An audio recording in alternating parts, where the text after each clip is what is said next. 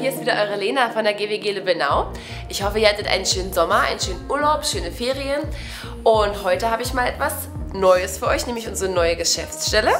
Die ist nämlich umgebaut worden und sieht richtig klasse aus. Kommt mal mit.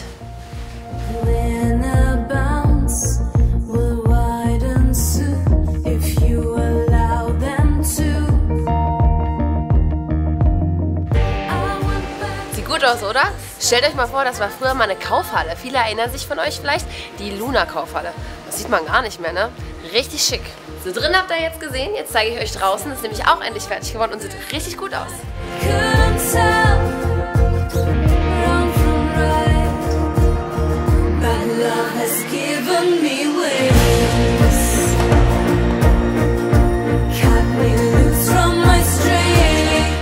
Also uns gefällt's.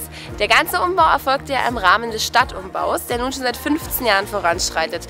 Ziel ist es, Achtung, jetzt kommt ein offizieller Begriff, die Beseitigung städtebaulichen Missstandes in und um Lübbenau. Und jeder, der hier wohnt, kann mir sicherlich zustimmen, dass wirklich viel passiert ist. Rückbau, Modernisierung, Neubau, Spielplätze, Grünflächen, Lübbenau wird richtig schön.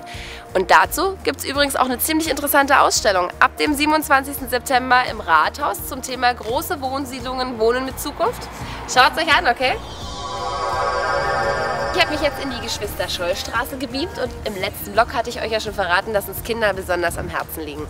Und wir haben hier einen brandneuen Spielplatz, den ihr hier seht und den bekommt auch die Geschwister-Scholl-Straße 21 bis 30. Und übrigens die Häuser hinter mir mit tollen Familienwohnungen, Vierraumwohnungen und so weiter, genaue Infos findet ihr auf unserer Homepage, sind nur drei Minuten von der erneuerten Werner Seelenbinder Grundschule entfernt.